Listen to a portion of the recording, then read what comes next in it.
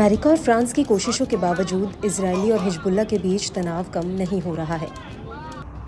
Israeli सेना ने बीते तीन दिनों में हिजबुल्ला के 2000 से अधिक ठिकानों को निशाना बनाने का दावा किया है। वहीं आईडीएफ चीफ हर्जी हलेवी ने लेबनान में जमीनी आक्रमण के संकेत दे दिए हैं। इसराइल और हिजबुल्ला के ताज़ा संघर्ष पर नज़र डालें तो इसराइल सैन्य अभियान को लेकर गाजा की तुलना में लेबनान में ज़्यादा तेज़ी दिखा रहा है।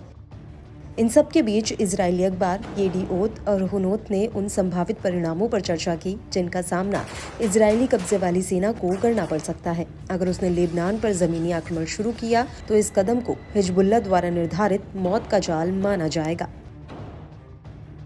ये रिपोर्ट तब आई है जब कब्जे वाली सेना ने एक बयान जारी कर लेबनान की सीमा पर उत्तरी क्षेत्रों में ऑपरेशनल मिशन के लिए दो रिज़र्व ब्रिगेड को बुलाने की घोषणा की थी। और Israeli chief of staff Herzi Halevi ने सैनिकों को संभावित ज़मीन के लिए तैयार रहने के लिए कहा था। इसके बाद बुधवार को हिजबुल्ला ने एक अभूतपूर्व ऑपरेशन किया, जिसमें कहा गया कि उसने दक्षिणी लेबनान और बेका पर इसराइल द्वारा सोमवार को शुरू किए गए हमलों के बाद तेल अवीव के उपनगरों में मोसाद मुख्यालय को कादर एक बैलिस्टिक मिसाइल से निशाना बनाया, जिसमें कम से कम पाँच सौ अट्ठावन लोग मारे गए।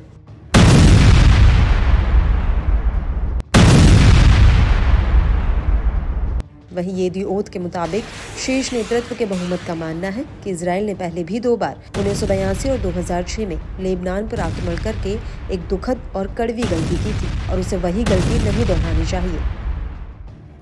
अब सवाल यहाँ ये भी है कि आखिर इसराइल की इस जल्दबाजी के पीछे ये क्या वजह है? तो जवाब ये है कि वैसे तो इसराइल और हिजबुल्ला के बीच 8 अक्टूबर से ही तनाव बरकरार है, लेकिन पिछले हफ़्ते से ही दोनों के बीच जंग के आसार दिखने लगे थे।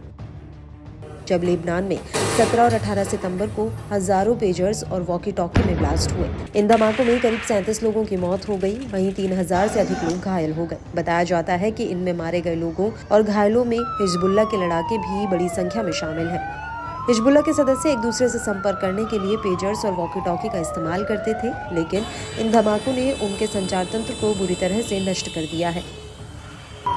एक और हज़ारों लड़ाके घायल हैं तो वहीं दूसरी ओर संचार के मज़बूत साधन भी मौजूद नहीं है। इसके अलावा इजरायली सेना हिजबुल्ला के इंटेलिजेंस हेडक्वार्टर समेत 70 खुफिया ठिकानों को भी निशाना बना चुकी है, जिससे हिजबुल्ला को जानकारी जुटाने में मुश्किलों का सामना करना पड़ रहा है। ऐसे में माना जा सकता है कि हिजबुल्ला इस वक्त कमज़ोर स्थिति में है।